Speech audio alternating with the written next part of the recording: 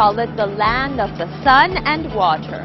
But the southern province of Khuzestan is mostly famous for its numerous palm trees, its beautiful rivers, and of course, oil. I hit the road to the city of Ramhormuz thinking mostly about this region's recent history. 150 years ago when oil exploration began and changed Iran forever. And as I continued my journey, I thought to myself that I could be walking on the same soil that oil explorers examined inch by inch. That building over there was built by William D'Arcy. Yes, the same person who was known for exploring Iran's southern regions for oil in the 19th century, who brought years of British control over Iran's oil industry, which consequently led to the 1953 coup d'etat, the price Iranians paid for independence. Tar Valley, tar as in the tar asphalt is made of, this is what locals call this place.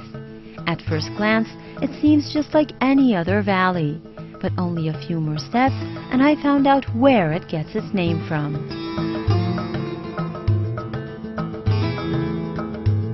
I was told that if I get here I would find something really amazing, and it sure is.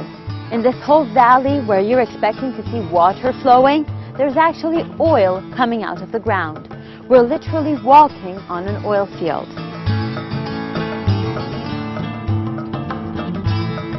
This is the first time that I see crude oil, or better said, black gold. But villagers here call this thick black fluid that they use to strengthen their buildings dragon blood. And they have a whole fairy tale to explain where the 10 oil springs in the valley come from.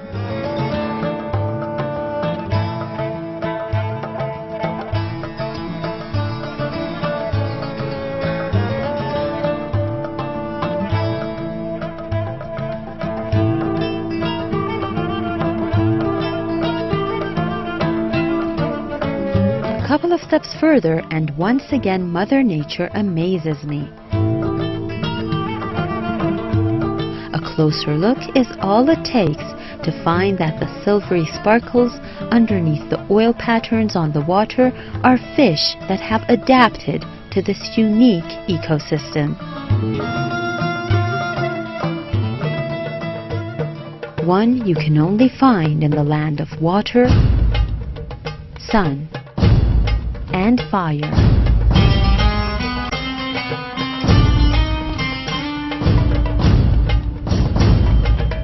Peshkuh is a whole mountain on fire, only a 10-minute drive away.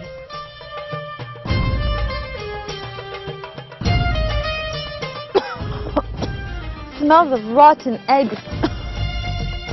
The terrible smell of hydrogen sulfide mixed with natural gas is a clear indication for why this mountain has been burning for thousands of years, only a few kilometers away from the famous Abul Fares oil and gas field.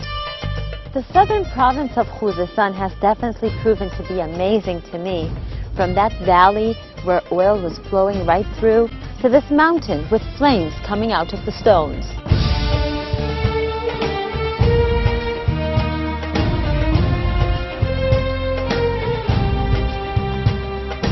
It's no wonder why this region has become known as the legendary battlefield where the Iranian mythical hero Esfandiar killed the dragon according to Iran's national epic recounted by the famous poet Ferdowsi.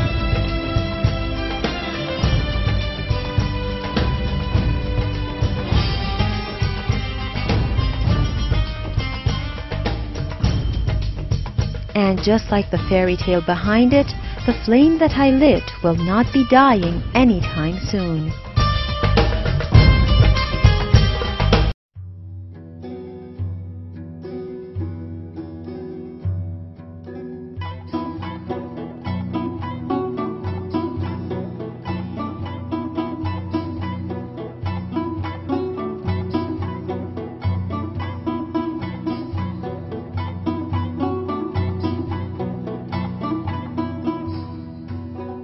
Shiraz is a city with thousands of years of history.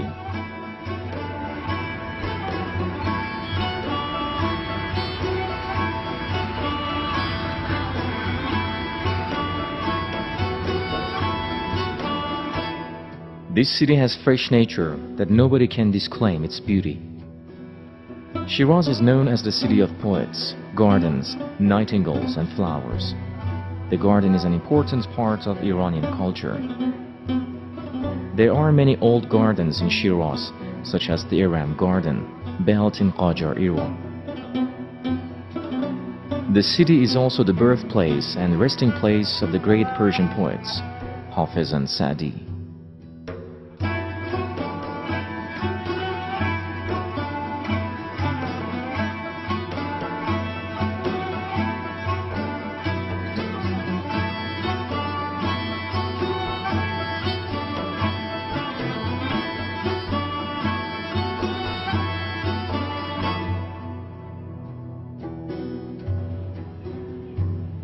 There are several shrines in the city. The most famous one is known as Shah Cheragh.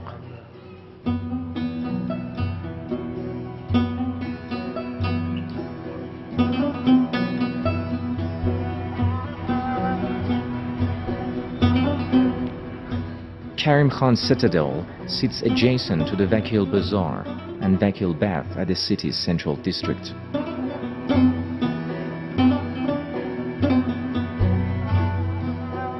According to Iran's Cultural Heritage Organization, there are over 200 sites of historical significance around Shiraz.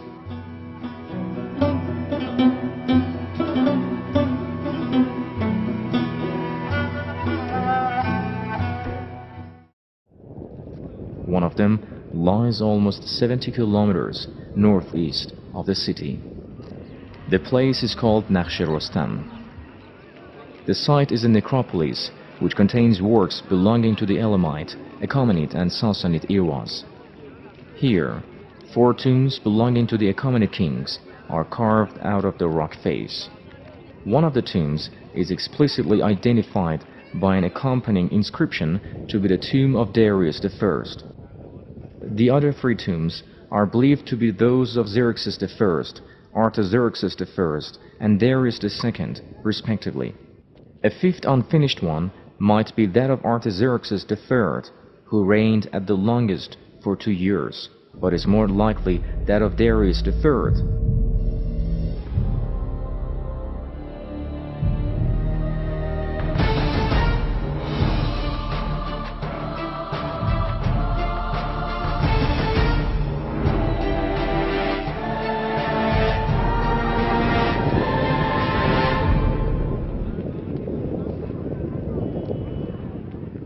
معتبرترین و مستندترین آرامگاهی که ما می‌تونیم به طور قطعیت به اون نظر بدیم که این متعلق به کدام یک از شاهان آرامگاه داریوش در این محبت است که به وسیله خطوط در این خطوط درباره لشکرکشی ها و خصوصیات فردی داریوش توضیحاتی رو داده و خصوصا نام سی اورنگبر و سی شخصی که در زیر تخت شاهی هستند رو اومده یکی یکی نام برده. The tombs are known locally as the Persian crosses, after the shape of the facades of the tombs. The entrance to each tomb is at the center of each cross, which opens onto a small chamber where the king lay in a sarcophagus. Each cross shaped above is over 75 feet high and 60 feet wide. چهار عنصر آب، خاک، باد و آتش رو در حقیقت بیان میکنه. The tombs were looted during an invasion by Alexander the Macedonian. Another important feature of Naqsh is a series of eight Sasanian rock reliefs, some of the greatest ever created on the lower levels of the cliffs.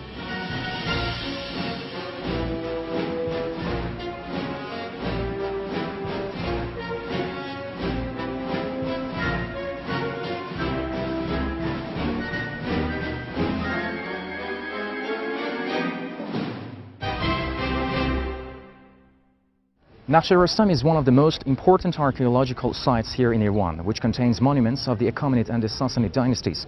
In later times, when people could not remember the origins of such rock carvings, which usually show the triumphant Iranian heroes, they were attributed to Iran's legendary hero Rustam, and the site was accordingly called Carved Representation of Rustam. The founder of the Sassanid Empire is seen being handed the ring of kingship by Ahura Mazda.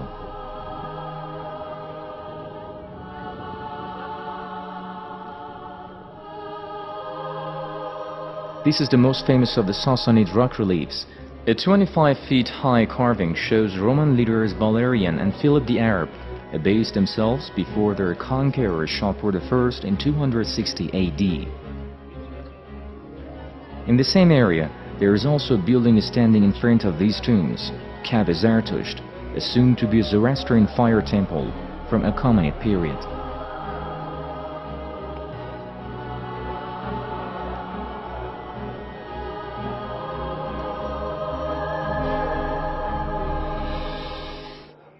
This is a must-see place, especially for those who have visited Persepolis with all its glory. Salman Kujuri, reporting for Iran.